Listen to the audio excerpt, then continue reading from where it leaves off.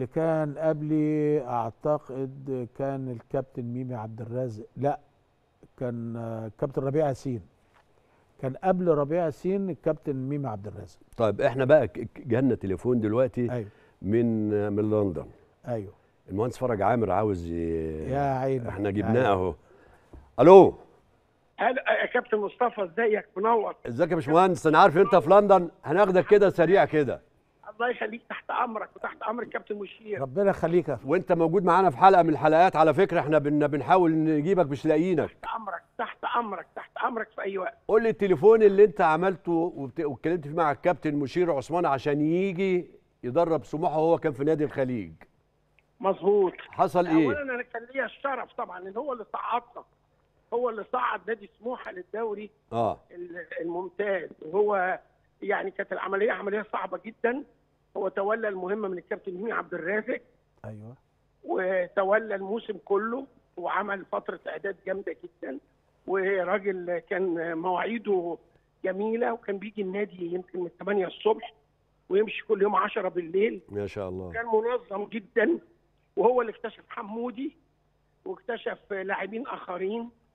أعتقد إبراهيم عبد الخالق برضه هو اللي قدمه أول واحد قدم إبراهيم عبد الخالق وقدم ناس تانية كمان وعمل فرقة جميلة متوازنة وكسب بيها و... وكنا ماشيين متصدرين من الأول يعني. آه. وبشهد له بقى بالنظام و... وبالأمانة وبالنزاهة وبالدقة وبكل شيء جميل يعني. كابتن مشير راجل جميل جميل جميل. طيب يعني- أنا معلش أنا عشان أنا عارف بسرعة وأنت بتتكلم بره مصر دلوقتي. في أي وقت تحت أمرك. ربنا يخليك. طب هل هل معقول عندي يبقى عندنا مدرب لف الخ- الخليج وإفريقيا والكلام ده ومسك منتخبات ويبقى موجود هنا في مصر؟ مفيش حد من اللي مسؤول عن الكورة في مصر يكلم الكابتن مشير حتى يتولى مسؤولية من المنتخبات الصغيرة؟ هل ده يرضيك يا باشمهندس؟ لا لا لا لا لا. أنا عايز أقول لك على حاجة. اتفضل. أنا بعد ما الكابتن مشير صعد بينا كلمني نائب رئيس الاتحاد الليبي. آه. وقال لي ترشح لنا مين يمسك ال- أعتقد المنتخب الأولمبي. قلت له والله ما فيش أحسن من الكابتن مشير عثمان. يا سلام. وهو نا- وهو حقق نجاحات كبيرة قوي طبعا في ليبيا. وهو طبعا بعد ما أنا اتكلمت هذا الكلام طبعا هم تأكدوا من عمله يعني. طبعا هو مجرد ترشيح لكن هم تأكدوا من عمله. وهو عمل نجاحات كبيرة جدا في ليبيا. وهو راجل ناجح في كل حاجة لأن هو أهم حاجة عنده بياخد بالأسباب. هو منظم جدا نعم. امين جدا ودقيق جدا وما عندوش مجاملة. واضح كمان واضح.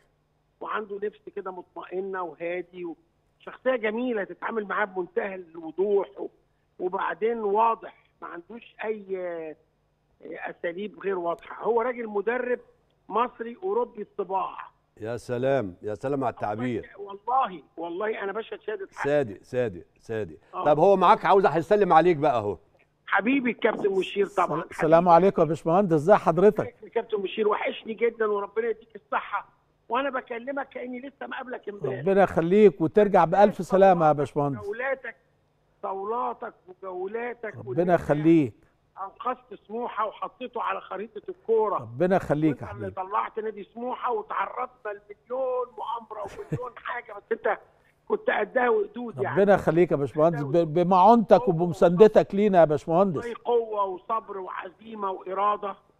أنت راجل شريف ومحترم يا كابتن بصراحة. ربنا يخليك. ربنا يخليك. بقول الحقيقة واقل من الحقيقة متعت بالعمل معاك. حضرتك كنت سند لينا كبير جدا يا باشمهندس. آه، والله بص أي واحد بيحب ناديه وبيخاف عليه لازم يكون سند لك لأن صح. أنت عملت كل اللي مطلوب منك وأكتر ربنا يخليك يا باشمهندس. وقليل الكلام. يعني دي شهادة يعني نعتز بيها جدا والله. هو الحقيقة هو الحقيقة. هو كابتن مشير قاعد دلوقتي حتى تحس إن هو محرج من الكلام الجميل اللي بيتقال عليه لأن ده حقه. والله دي والله الحقيقة وأقل من الحقيقة. ربنا يكرمك يا كتر باشمهندس خيرك يا والله يا باشمهندس. كابتن والله. ترجع ده كده. فخر للكره المصرية. ترجع لينا بالسلامة إن شاء الرحمن. أمرك. تحت أمرك. وما نرجع يبقى في تليفون كده بيني وبينك عشان نعمل حلقة كده. تحت أمرك. ربنا يخليك يا باشمهندس. اتفضل يا فندم اتفضل يا. باشمهندس. اتفضل يا حبيبي.